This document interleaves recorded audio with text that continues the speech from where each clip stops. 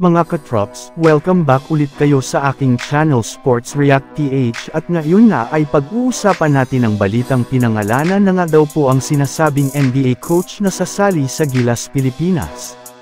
Pag-uusapan na rin nga natin ngayon dito sa ating panibagong video ang balitang tinapos na rin nga daw po ni Rob Pelinka ang pagkuha nila kay Damian Lillard.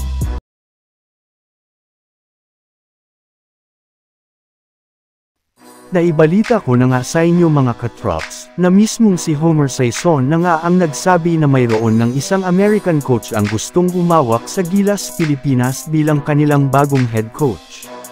Pero sa ngayon nga ay hindi peren naman nga pinapangalanan kung sino nga ba itong NBA coach na gustong sumali sa ating national team gayong mas gusto nga nito makapag-focus ang Gilas sa Asian Games at ayaw nga niya itong sirain.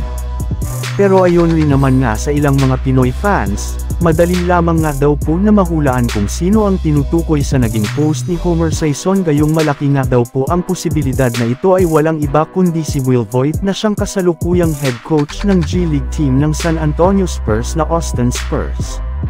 Bukod nga sa experience nito sa NBA ay naging head coach rin naman nga ito ng Nigerian team taong 2015 kung saan nakuha nga nila dito ang kanilang kauna-unahang Afro Basket title matapos nilang talunin ang Angola.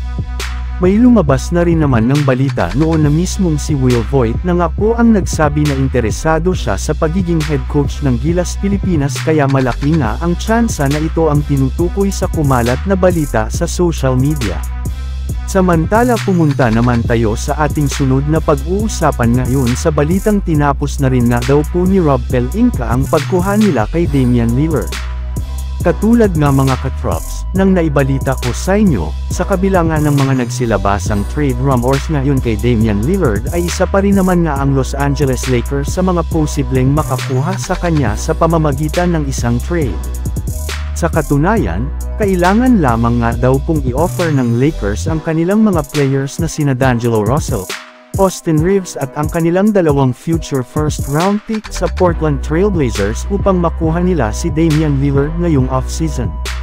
Ngunit impossible rin naman nga ito na mangyari gayong bukod nga sa katotohanan na pinagbabawal pa ng NBA na e-trade ng Lakers sina D'Angelo Russell at Austin Reeves matapos silang pumirma ng kontrata ng nagdaang buwan ay ayaw na rin naman nga daw po ngayon ng Lakers na gumawa pa ng trade sa mga susunod na linggo plus wala na rin naman nga silang balak o plano pa na e-trade pa ang kanilang mga nabanggit na players.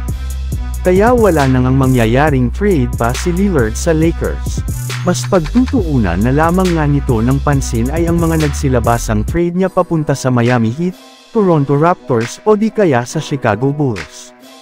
So yun lang nga mga katrops ang handog ko sa inyong storya ngayong araw, sana nag-enjoy kayo please like and subscribe my YouTube channel Sports React PH para sa iba pang storya at update patungkol sa NBA, kitikets muli sa ating susunod na video.